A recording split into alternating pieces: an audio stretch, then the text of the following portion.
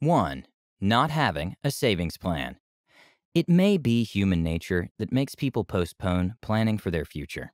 When you're at the height of your career, it's much easier and a lot more fun to plan a vacation, for example, than to sort out a retirement plan. It's necessary to start planning right away, before the time comes to hang up your hat. If you don't plan now and take all the necessary actions, you won't be able to live out your golden years as you'd wanted to. Leaving this kind of thing to random do it yourself retirement calculators would be simple enough. But find an expert financial advisor to help you make wise financial plans for the future. You can't put this off forever. There are quite a number of excuses people give when asked why they haven't made a plan yet. They're somewhere in the lines of there are too many expenses at the moment, and there isn't anything left over to save. Others say that their finances are a mess, and some claim they don't have enough to get started. There are some who feel it's too soon or it's too late, and a few have been heard saying they don't need a savings plan. Some of these reasons are true, and others can also be termed as excuses. However, there are some ways to get around all this. When it comes to saving, it's never too late or too soon, and you don't need a lot to get started. The important thing is that you start. 2. Claiming Social Security too early. In the US, you're entitled to start taking retirement benefits from the age of 62, but if you can hold off tapping into it, do so. 67 is the age most financial planners recommend before accessing your Social Security. Waiting till 70 is even better, but if you do choose to claim Social Security earlier, then you'll have to contend with the fact that your monthly check will receive a 30% deduction for the rest of your life. But if you decide to wait, you get an 8% boost in benefits every year between the age of 67 and 70, owing to delayed retirement credits. This is a substantial increase, and an annual return of 8% is better than what you're likely to get from the stock market. Deciding the right moment for you to reap benefits is a sort of balancing act. If you wait too long, you give up years of extra income. But on the other hand, if you can increase your income in later years, why not? If you think about it, delaying until 70 has benefits that outweigh if you live past 82. The hard part about making up your mind is that you're not always guaranteed that you're right, because most of us don't know how long we're going to live for. 3. Avoiding the stock market. Shying away from stocks because they're risky is a big mistake many investors make when planning for retirement. It's true that the market has its ups and downs, but for a very long time, stocks have returned an average of close to 10% annually. The reasons investors avoid stocks is because they fear incurring losses. Some say they don't have sufficient knowledge on the stock market to get started, and others say they don't have enough funds. But in truth, all this could be worked out with help from others who know what they're doing. Sometimes you just need to take a leap of faith. You might think it's best to avoid the market so as to keep your money safe, but this comes at the expense of low returns. And truthfully, you haven't gotten rid of the risk, but instead, you've shifted your risk to the possibility of your money not keeping up with inflation. 4. Ignoring long term care. We try, as much as we can, to eat the right foods, exercise, and go for regular checkups so as to remain as healthy as possible. But with age comes several ailments that may befall us, and a serious illness might take a toll on your mind and body. When the day comes that you need long term care, be prepared for the huge sums of money you'll have to pay. Assisted living and nursing homes cost a lot, and even if you think you have enough to cover the costs, it can easily be wiped out in a short period of time. It's important to note that Medicare doesn't cover a majority of the costs linked to long term care.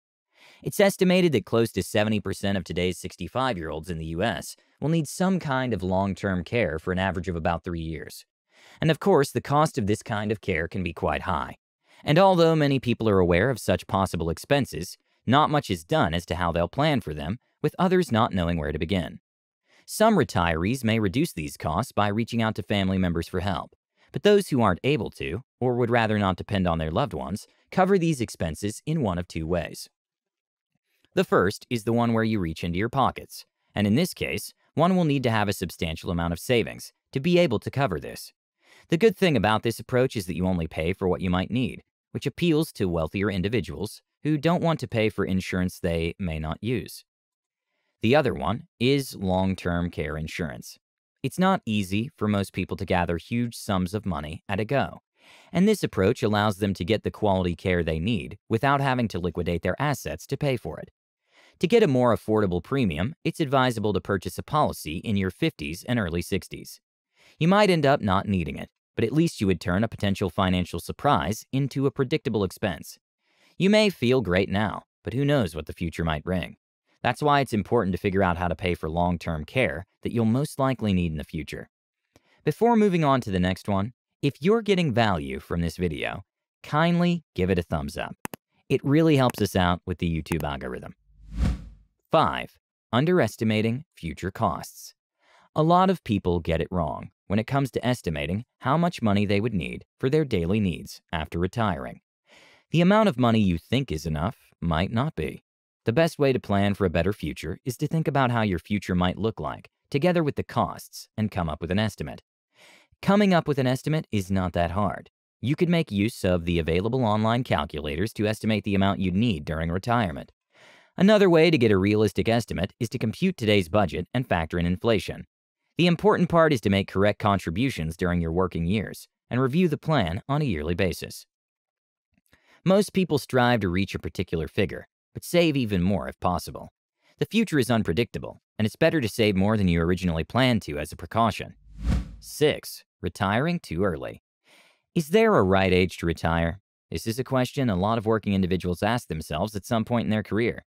If you decide to retire in your late 50s or early 60s, you might need to make your money last for about three decades or even more, and for some, this money has to cater for both them and their spouse. For someone to be retired that long, they'll need stacks of money. For a lot of folks, after years of working hard, they reach a point in their lives where they just want to quit their job, travel the world, and enjoy what life has to offer. Quite a lot make the mistake of retiring too soon. And some of their reasons are they are bored with what they do at work, they lost their job, and they're tired of the long commute and so forth. Others choose to retire once they reach the target they'd set for their retirement savings. Waiting to retire might be a better choice because you can increase your eventual retirement income significantly by delaying retirement, even if it's only by a couple of years. If you fail to take the time to really work out the math on your savings, you might end up struggling financially in your 70s and 80s. Lots of people regret making this mistake, feeling they would enjoy a much better retirement if they'd waited a little longer. We all want to be happy, healthy, and satisfied with life. And some have the impression that retirement is the best way to go to help them reach their goals. But will you be able to fulfill these goals if your full retirement isn't practical in your 50s and 60s? Ask yourself if you'll still be happy and fulfilled if it turns out that you'll need to work longer than you'd planned initially, as you plan for retirement. Or maybe you'll have to spend less than you did during your working years. Answering these questions might assist you in coming up with a more practical and successful retirement plan that works for you. 7. Neglecting asset planning. Planning for your assets is not only reserved for the well off. Even if you have modest assets like a house, car, or a bank account, it would be for the best if you drafted a will in which you specify who will receive what and who will be responsible for distributing your money and possessions. If you pass away without leaving a will, your assets will most likely be subject to the laws of the state. It becomes a very trying period for your family as they try to sort out the matter in court. And if you already have one, retirement is the time when you can review it and possibly make changes because a lot could have changed over the years. You could have gotten divorced, remarried, become richer, or poorer. You may have grandkids that you didn't have before and would like to include in your will.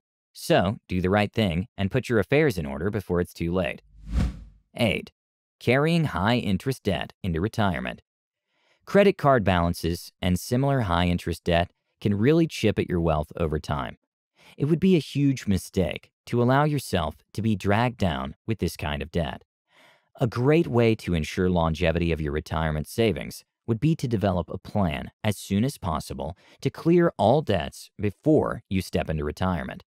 Paying high interest rates could really drain your finances, especially during retirement when you're living off a fixed income.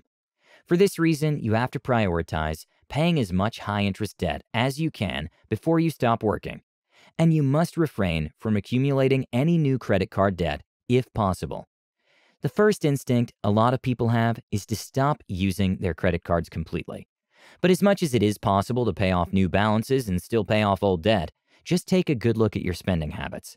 If you can't pay for new spending out of your pocket and cover your existing minimum at the same time, you'll never make progress with your current balance. Once you've figured out how to avoid any future debts, take a look at which credit card has the highest interest rate. You're still going to pay the minimum on the other balances, but more money should be put into the one with the higher interest rate. Once this is done, move on to the next card with the highest interest rate.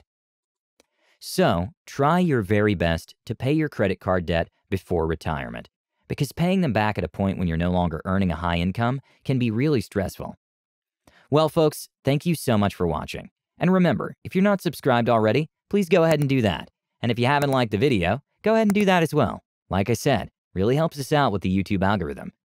Anyway, you guys, have a great day, and I'll see you all in the next one. Take care.